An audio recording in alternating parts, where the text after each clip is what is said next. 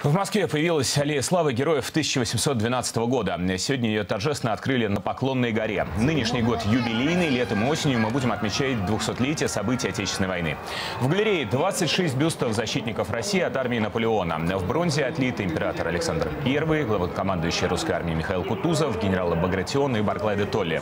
Есть в этой мужской колонии первая в русской армии женщина-офицер, знаменитая кавалерист-девица Надежда Дурова.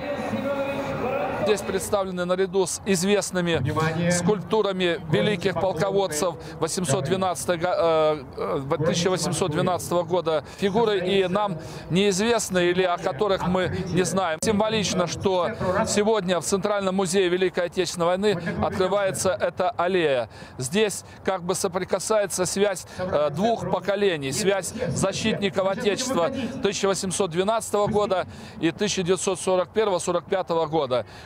Добавлю, что аллея скульптур простоит рядом с музеем до сентября. После этого часть коллекции подарят кадетским корпусам и военным училищам.